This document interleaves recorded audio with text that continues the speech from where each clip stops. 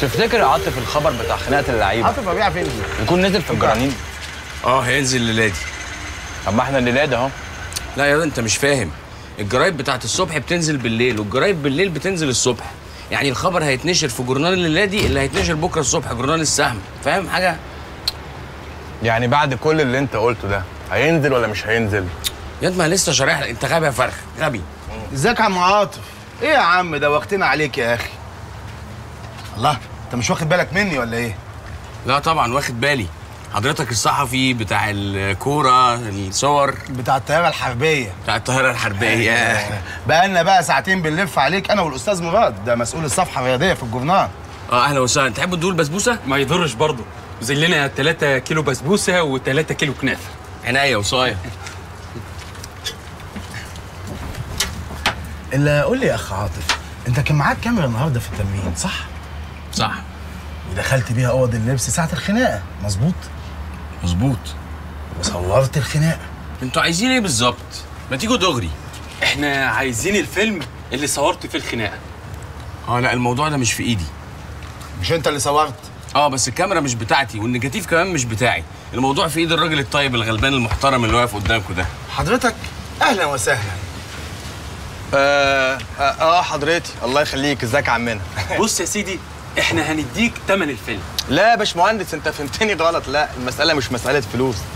إحنا بس عايزين نفهم إيه العبارة. أنتوا داخلين كده ملهوفين على الخناقة دي ليه؟ الخناقة دي بسبب البنات. اتنين من نجوم الفريق بيتخانقوا مع بعض عشان البنات. وانتوا بقى عايزين تعملوا شغل. شغلنا كده بقى. هنعمل إيه؟ هات الفيلم. معلش يا باشمهندس مش هينفع. أصل الفيلم دوت ليا فيه صورة مع كابتن مصر الكابتن جمال. ولا يمكن أفرط فيها. صورتك مع الكابتن جمال أنا أحمضها لك وأطبعها لك خمسة متر في خمسة متر. أنت والكابتن جمال. طب ولزومه إيه الفضايح؟ اتنين لعيبة بيتخانقوا على بيت. الله حريم ستار. شوف يا أخ عاطف أنا أعرف أعمل بسبوسة. وناش عرفنا أكيد ما أعرفش. يبقى أنت كمان ما تعرفش في الصحافة. يبقى كل واحد يخليه في شغله أحسن. آه، طب حضرتك ممكن تتعلم تعمل بسبوسة؟ ممكن. طيب أنا كمان ممكن أتعلم أبقى صحفي. صدق. شفت؟ يا جماعة يا جماعة بوس إيديكم. إحنا عايزين الفيلم. امسك عطوفه بصوا يا باشمهندسين أنا بتكلم عربي. الفيلم ده يخصني أنا. يعني أنا البني آدم الوحيد الذي يملك التصرف فيه. يبقى الكلام معايا بالصلاة على النبي. الفيلم ده في حاجة كل جمهور مصر عايز يشوفها. خلاص خلاص. 100 جنيه. يا عم بيقول امسك عشان طلعت من الصوت كمل. بيقول لك كل جمهور مصر عايز يشوفها. خلاص. 150 جنيه عشان نلحق الطبعة التانية. على الصورة الواحدة. 150 جنيه على الصورة الواحدة.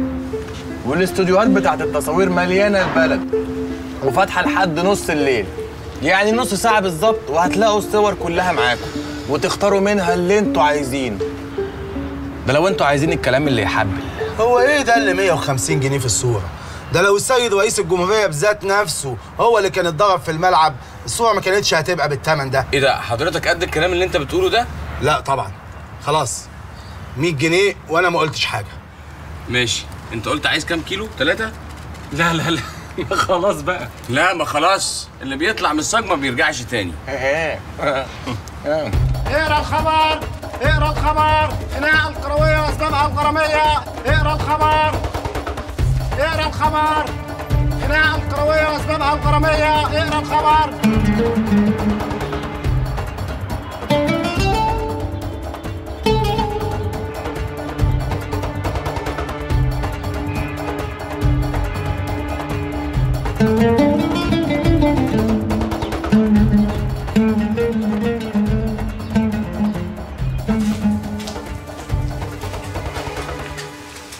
اللهم صل على النبي.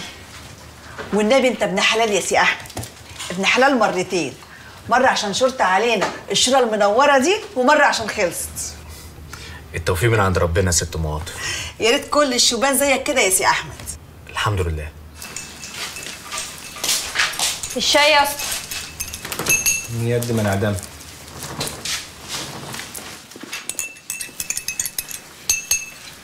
الشاي سي الأستاذ. متشكر. اتأسفي يا سي أحمد يا تغريب. هو أنا عملت إيه غلط يابا؟ هو في حد بيعمل حاجة لحد من غير ما يبقى عايز حاجة قصاد منها؟ تاني تاني يا مقصوفة الرقبة. بعد إذنك يا عم ربيع ممكن أتكلم معاه كلمتين عشان تفهم الموضوع؟ اتكلم يا ابني. ما هي زي أختك.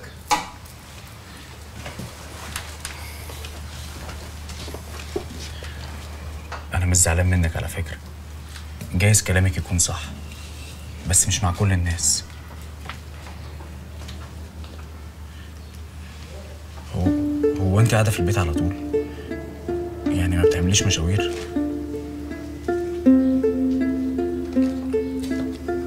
كويس إنك اعترفت.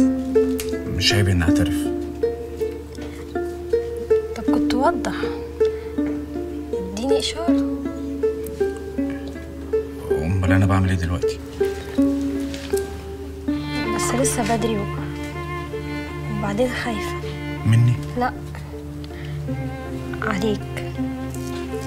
أخويا عاطف. اسأل عنه قبله وبعدين بقدر ظروفك وأحوالك. صوتكوتي ليه يا أختي؟ ما تسمعونا بتقولوا إيه؟ هو أنت لازم تسمعي كل حاجة؟ كان بيعزمني على السيما مستريحة؟ سيما؟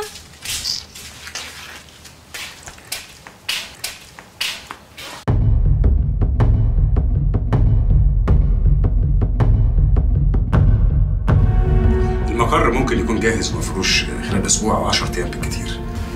المهندس اللي كلمت سعادتك عنه عمل معاهم شغل عالي قوي أنا شايفك مبسوط قوي من الولد ده. فعلا يا فندم. عملت له اختبارات كتير والنتائج كلها كانت إيجابية. يعني ممكن يكون محل ثقة؟ أكيد يا فندم. على أساس إيه الثقة الكبيرة اللي عندك دي؟ الفلوس اللي كسبها هو أبوه الله يرحمه بقى. تخليه كلب وافي بيحرس صاحبه ويسمع كلامه. متأكد؟ التجربة هي اللي أكدت. قلت له أبوك يهاجر بره البلد نفذ على طول. لكن إرادة ربنا كانت أسرع بقى في طه أكتر من كده. ده غير إنه ذكي وطموح وما يقدرش يخوني لأنه عارف إن أقدر أقطع رقبته في لحظة. وبعدين ولد أبوه كان بيوفر تمن باكل معسل عشان يعلمه. لازم يرضى بالنعمة اللي هو فيها. وخصوصا هتكون من وسع هتكون بالملايين